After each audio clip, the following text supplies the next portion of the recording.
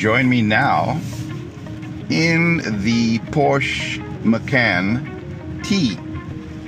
T does not stand for turbo because nowadays everything's got a damn turbo in them, thus diluting the moniker somewhat. I'm not complaining, it is what it is. Uh, like I said, T is for touring, which you might associate with all manners of cars, estates. Um, in this case, it is simply a comfy version of said compact SUV.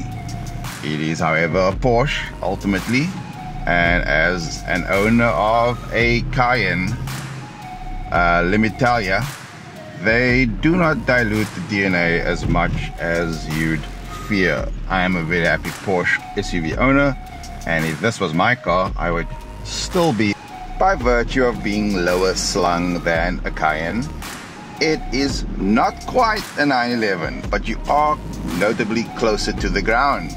You are lower slung. And that means when you feel the need for performance, you've got something in the bag. Um, a blown 2 liter turbo, in fact, good for just shy of 200 kilowatts.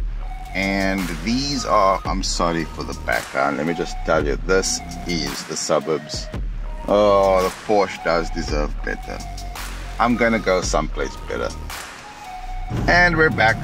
Sadly, still on a highway. Much of living is just commuting via highways and highways. I realize now I should probably have recorded this over the weekend when I visited all the cool mountain bike trails. But here we are. Uh, let's look at the cabin we've got to work in. It is classic Porsche, modern Porsche, well, contemporary anyway well appointed, comfortable, interesting fabric seats, not what I was expecting, mix of fabric and leather. Um, my favorite part must however be over here, the drive mode rotary dial, which you can have it in individual mode, your customizable mode. There is normal, there is sport mode, which gives you more oomph. There's sport plus, which gives you even more.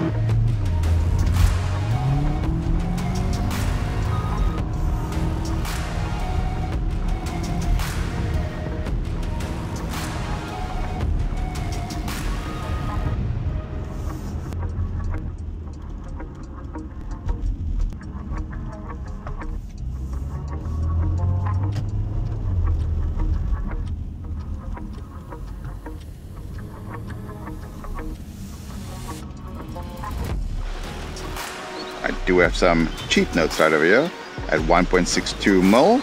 It's got a 2 liter 4 cylinder turbo petrol. It's got a 7 speed dual clutch PDK, 195 kilowatts, 400 newton meters, 0 to 100 in just over 6 seconds, and a top speed of 232 k's. That is an all wheel drive package, and I freaking dig it.